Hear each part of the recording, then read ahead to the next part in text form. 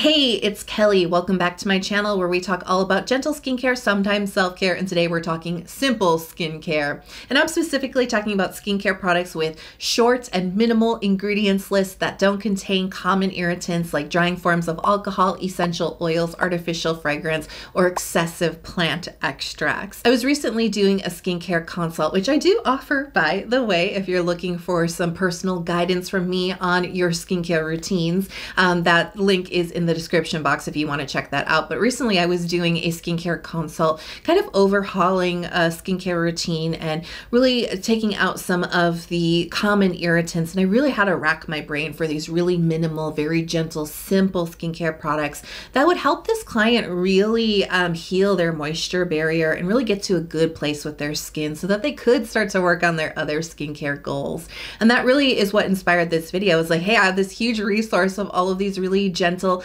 minimal products that don't contain these common irritants. I definitely want to put them all together in one resource. So that's what today's video is all about. And hey, by the way, this isn't the total focus of the video, but if you do have sensitivities to niacinamide and hyaluronic acid, I do want to tell you this video could be really great for you because most of the products, there's a few, I will point them out, there's a few that actually don't contain these ingredients, which are increasingly becoming common irritants um, because of that compounding effect of those ingredients being in every single skincare routine. So just wanted to point that one out for you. This video could be very helpful. So without further ado, if you want to learn all all about simple, gentle skincare products that I recommend. Give the video a big thumbs up and let's jump in. So let's start off with toners. This is the Etude House Soon Jung Relief Toner. And this is such a simple formula that really just focuses in on hydrating the skin and helping to gently calm it. They are harnessing the power of centella, which is a really great plant extract, but it's not a fragrant plant extract. It has a really beautiful healing and soothing quality for the skin. And this toner is so great too because I think it's going to work for a majority of skin types. It has this really watery texture that's quickly absorbed into the skin. Now, this doesn't have any slip, it doesn't have any body, it doesn't have like a gel like feeling, it doesn't feel heavy. So, this is something once you apply it, it just goes right into the skin, deeply hydrates it without any kind of filmy layer on top. Now, there are two different versions of this toner. The original relief version has a little bit of centella, the centella relief version has more centella in it, um, but I find the textures identical. I find the hydration levels identical. I honestly don't see the biggest difference here, but I think the advantage is if you know your skin and you know you do good with a little bit of centella, but not a lot of centella, you've got some options here between the two. So I think that this can be a really great place to start for that really minimal toner that gently soothes and deeply hydrates. Round Lab 1025 Dokdo Toner. Now this is another one that really delivers deep deep hydration in like a almost universal texture. It's going to work for any skin type in my opinion.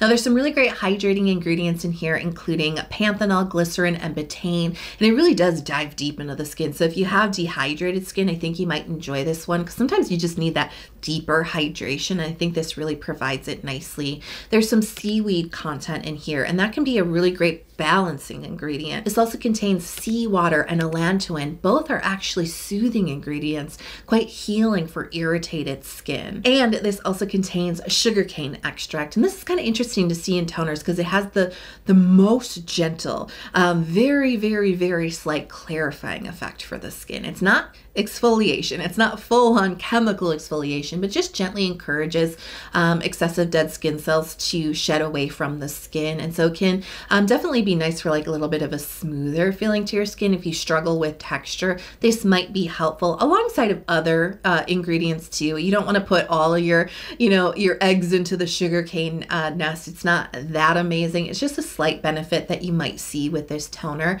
But sugarcane is also a really great uh, hydrating ingredient as well. And it all comes together in this beautiful, watery, as I mentioned, universal texture. Quickly absorbed in the skin, no body, no slip, no moisture, easily layered onto the skin without building up any type of filminess. So another one um, that's great to go for for its really like simple formula, but another great one for deep hydration. Now say you love moisturizing milky toners. I've got you covered with the Purito Oats in Silky Toner. Now this is a really simple formula here. They're using glycerin, beta glucan to really hydrate the skin. Beta glucan is a really nice alternative ingredient to hyaluronic acid, um, which can sometimes create some inflammation in sensitive individuals.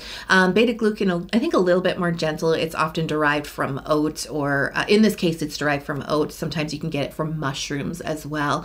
And it's one of those um, humectant ingredients that attracts and binds hydration into the skin, has a little bit of like a, a, a bouncy gel like consistency to it, so it can kind of plump the skin as well. All similar qualities to hyaluronic acid without that pro inflammatory effect um, for certain, you know, sensitive individuals.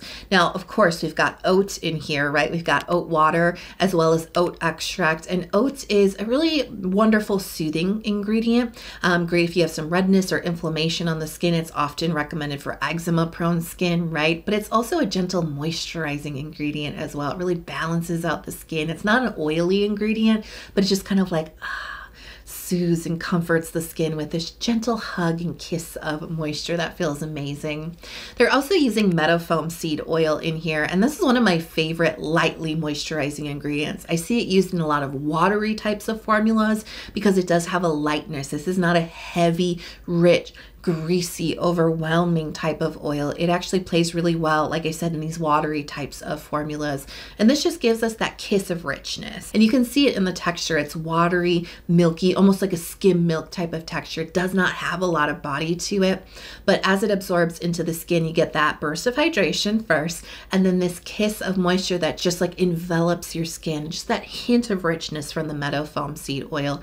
But it's not greasy. It feels really comforting, very soothing just not heavy on the skin. Let's talk serums next. This is the Make P:rem Comfort Me Panthenol Moisture Essence.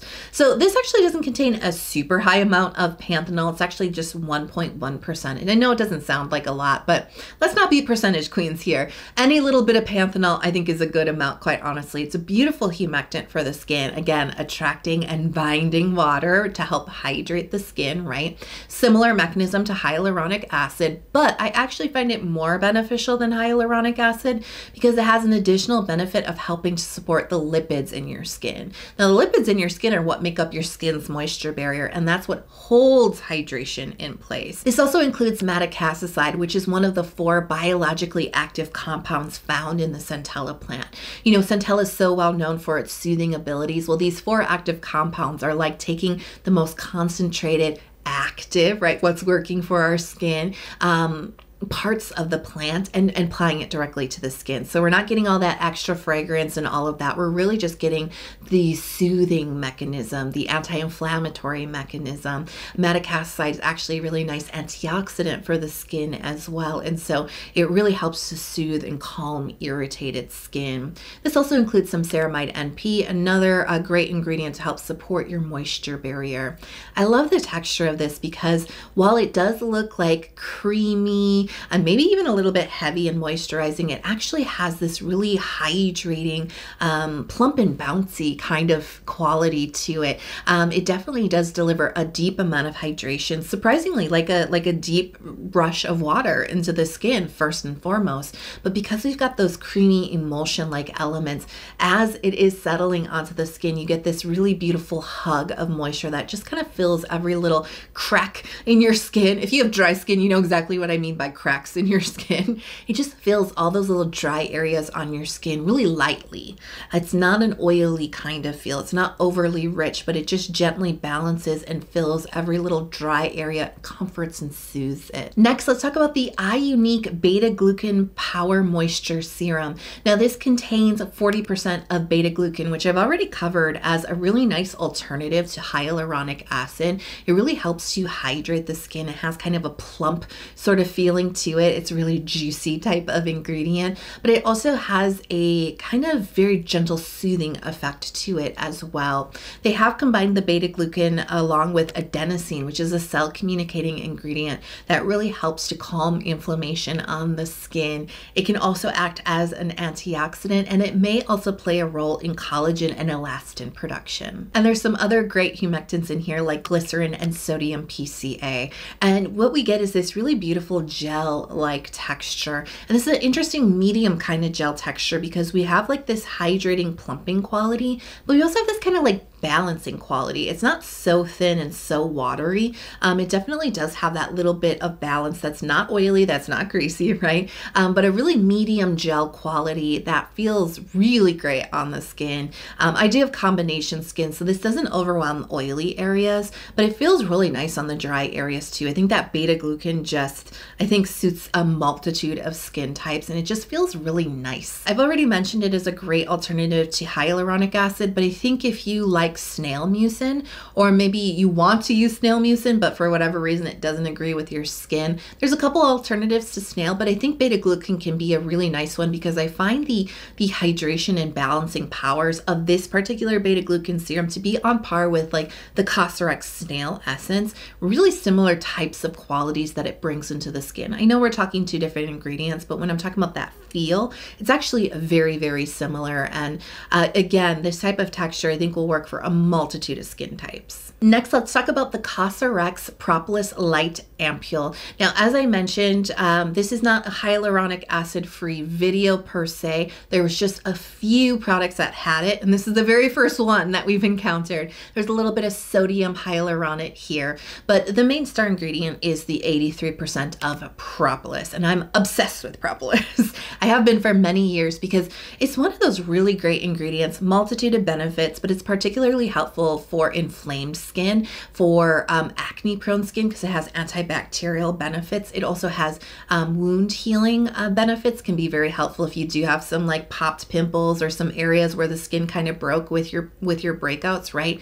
But it also has this really beautiful effect of like brightening the the complexion. It really brings out that inner glow to your skin. Um, it's just a really fantastic ingredient with a, a gorgeous balancing quality to it as well. Most propolis products have kind of that medium gel texture like the glucan does, but a little bit more of a kiss of moisture to it. Now, quickly, the texture of the Cosrx Ampule, as I mentioned, it is a medium gel texture, but it has some moisture to it. And so I think that that makes it maybe not the most appropriate choice for very oily folks or those who just don't like a lot of moisture or a lot of heft, you know what I mean, like weight on the skin. Even though they call this the light ampule, I do still find this to be more in the medium side of things. Propolis is just a little bit more of like i am doing this with my hands, because a little heftier kind of ingredient, generally speaking. So I just want to make you aware that it's not the lightest propolis serum out there, um, but generally speaking, I think combination folks, it's not the most rich propolis um, serum out there. I think that's where they're getting the light from. Dry skin folks, I think you'll like this too because that little bit of moisture is really nice, but it's not overly rich, just so you know. Um, but overall, I think it's a really nice expression of a simple, you know, um, serum that focuses in mainly on propolis. Let's talk moisturizers. One that I've really been obsessed with for the last few years is the Cetaphil Moisturizing Cream. This is such a simple drugstore moisturizer, but that's actually what I really like in moisturizers. I like really simple and to the point kinds of creams, and I really like to see a mix of humectants, those hydrating kind of water binding ingredients, emollients and I like a good amount of occlusivity, something that just hugs and seals everything in. And this does exactly that in like the simplest, straightforward formulation. So ingredients we have uh, glycerin and panthenol for that hydrating effect. Dimethicone and petrolatum just help to hug and seal everything in. And then on the emollient side, that kind of moisturizing skin conditioning side, we have sweet almond oil. And they are also using some niacinamide to help strengthen and fortify the moisture barrier. Again, I mentioned uh, hyaluronic acid and niacinamide are increasingly becoming ingredients that a lot of people are looking to avoid, either because of, of sensitivities or because of that compounding effect of those popular ingredients being in your toner and your in your cleanser and your serum and your moisturizer and your sunscreen. It's like too much altogether, right? Very first product that we're talking about today with niacinamide. So I do want to point that out. Um, but it can, if you're not sensitive, it can actually be a really nice ingredient for your skin's moisture barrier. The texture here is so interesting because it's not like that fluffy traditional type of cream texture. It actually almost is like a creamy balmy kind of ointmenty kind of feel to it. It's a really unique feel, um, but that actually translates to a cream that doesn't feel really greasy. You know, sometimes creams have like a real heavy oil kind of feel to them. Um, they're really silky and they're really rich, um, and that may not be appropriate for all seasons or all skin types. This actually has like a um, a really pleasing balancing kind of feel. You get the burst of hydration with the glycerin for sure. Um, you get this really nice smoothing effect from the almond oil, but it's not it's not an oily. You can't really detect the oil. If you didn't see it in the ingredients list, I bet you wouldn't guess it's in there. But it has this really nice smoothing, skin softening effect. And then there's this like um, semi matte finish to this because the petrolatum and the dimethicone really create this nice uh, finish that you don't get this shiny effect. It just kind of smooths your skin and it feels really good. It's medium on the skin, it's not heavy, but it's actually very protective. If you suffer with transepidermal water loss, this is the kind of like balance of ingredients you really should be seeking out. Those really good occlusives help hug everything in, but the, the humectants hydrate the skin, the emollients soften the skin underneath that, that occlusive layer. It feels so, so good. Let's talk Geek and Gorgeous Hydration Station. Now, this is a really interesting, very very simple moisturizer that focuses in on 6% of glycerin. This is such a great ingredient. You're probably already a fan because if you like simple skincare, you already know that glycerin is simple but effective. And there's nothing wrong with simple, right? I love glycerin because it's probably one of the best uh, humectants for the skin. It really brings in a lot of hydration. It's actually a soothing ingredient too. It actually is, is so beneficial for the skin. 6% is actually quite a bit of glycerin. And they're also combining the glycerin with ectoin, which is a really potent antioxidant. It's actually a really well-rounded ingredient. It has anti-inflammatory benefits. Um, it helps to protect the skin from, from UV damage. It's, again, an antioxidant. It helps to strengthen your skin barrier. It has well-aging properties. It is just like a really great ingredient to, to find really in any skincare product. It's not super duper common, although it's becoming more popular. Um, to have it married with this really simple ingredient ingredient like glycerin, I think is great. We also have bisabolol and allantoin, which are great soothing ingredients. Now the texture is a really interesting texture because it's a gel like cream texture that bursts into hydration. You feel every percentage of that glycerin in this and it's such a beautiful deep drink of water for the skin with this little rich silky aftertaste. Like after you get that burst of hydration, just very light moisture just at the top of the skin. This is something, you know, where Cetaphil is a little bit more appropriate for very dry, um, you know, leaning folks. I think that the uh, Hydration Station Moisturizer is a little bit more for those leaning a little bit more on the oily side because there's not a ton of emolliency here. There's not a lot of occlusivity or anything like that in here. It's just really hydrating, plumping, just lightly moisturizing a final layer for the skin. Next, let's talk sunscreens. This is the Goodal Heart Leaf Calming Moisture Sun Cream. This is SPF 50 plus PA plus 4 protection. Now, this is a sunscreen that has recently changed its name. It was called the Houttuynia Cordata uh, Calming Sun Cream. They recently changed the name to be easier to pronounce, right? To the Heart Leaf Calming Moisture Sun Cream. Uh, the ingredients actually have not changed. They've slightly updated the packaging, but I have confirmed nothing has changed with the formulation. So all of my prior reviews still stand, which I'm very excited about because I love this sunscreen. So it's a chemical sunscreen. It uses four uh, all new generation chemical filters to create the protection. And as you see from the ingredients list, it's very minimal. Um, a lot of, especially Korean sunscreens, will pack in a lot of plant extracts, which we've pretty much avoided for the most part throughout these product uh, recommendations, right? Um, they'll pack in niacinamide, which can actually be helpful for sunscreen formulation. But as I've mentioned a few times already, already some people are just really wanting to avoid the multiple niacinamide, you know, products layered in each and every day. So no niacinamide in here, no hyaluronic acid in here. Really simple, straight to the point. And I love the texture of this too because I find it so uncomplicated. And you know, sunscreen textures can be kind of complicated. I mean, first and foremost, sunscreen can cause white cast, it can cause pilling, it can um, just feel like really greasy and weird on the skin. None of those things are occurring with this sunscreen. Texture wise, it's not so heavy and moisturizing. It's actually a really light, almost essency kind of a texture, um, like a gel cream. It spreads in a really nice thin but protective layer and it dries uh, quite quickly, I feel like, on the skin with minimal shine. There might be a little bit of dewiness, but it's not overly greasy and shiny like some sunscreens are. Now, if you like mineral sunscreen, I have a suggestion. It is the Isntree Hyaluronic Acid Natural Sun Cream. This is SPF SPF 50 plus PA plus 4 using zinc oxide for the protection. There's this kind of like tricky way that formulators can use plant extracts to either mask like the raw skincare smells. Because if you've used fragrance free skincare, you know sometimes they don't smell pleasant. They're not always scentless, right? Sometimes they have that like, like plasticky kind of smell. And I know that's a turnoff for a lot of people. Um, so there's ways that you can formulate with plant extracts that mask that. Um, so it, it just becomes a neutral type of thing, right? Or a very, very lightly lightly scented thing. But there's also ways we can use plant extracts that have those fragrant abilities to impart a gentle smell scent or fragrance to the product without having to label like the word fragrance or you know using essential oils or things like that because the plant extracts are what have that fragrant ability to it and that's why I did not want to include a lot of heavy plant extract types of products in this video because if there's a scent and you're sensitive, those little compounds, even in the extracts, will not as pronounced and as concentrated as artificial fragrance, perfume, or essential oils could still cause some issues on very sensitive individuals. And a lot of my favorite mineral sunscreens had them in them. and I find that kind of tricky. I don't think it's shady, right? I, I think it's just a form, it's just a way to formulate skincare that generally makes it more pleasing to more people. This isn't shady, but it's tricky when you have those sensitivities. So luckily, this um, is a very, very minimal, like to non-existent with the plant extracts with the formula here.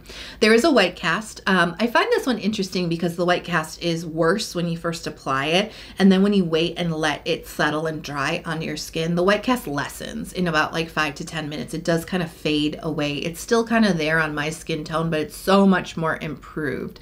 So I just kind of like the texture of this too because it's not really dry and chalky. It's not hard hard to spread on the skin like some mineral sun creams can have that feeling to it.